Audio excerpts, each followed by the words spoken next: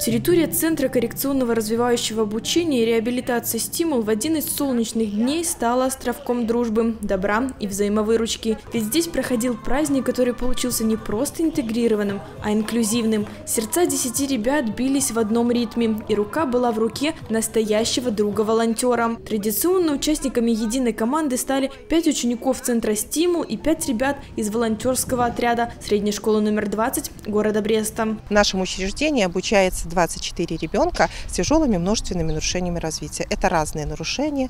Дети с интеллектуальной недостаточностью, дети с нарушениями аутистического спектра и самые разные другие какие-то нарушения развития, в том числе дети с нарушением функции опорно-двигательного аппарата.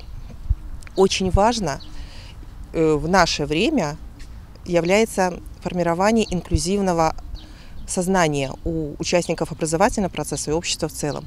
Поэтому э, наше мероприятие, которое называется «5 плюс 5» и именуется инклюзивный спортивный праздник – это мероприятие, ставшее уже традиционным в Ленинском районе города Бреста.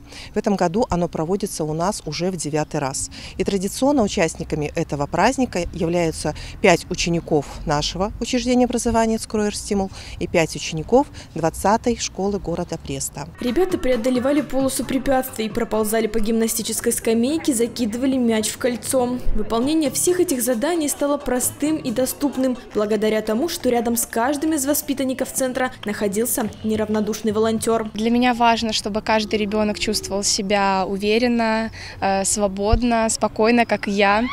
Э, был окружен любовью, заботой, друзьями.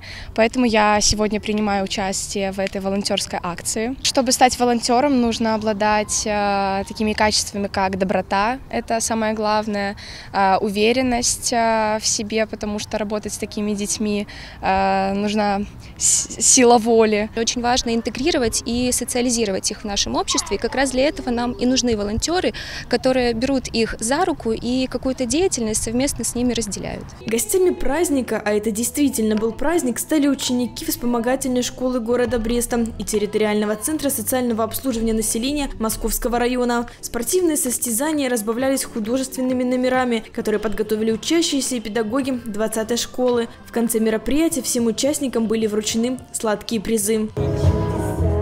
Творить, поверьте, можно с помощью любви, доброты. Анастасия Мелешкевич, Андрей Щерба, Юрий Лимонтович, телекомпания Бук ТВ.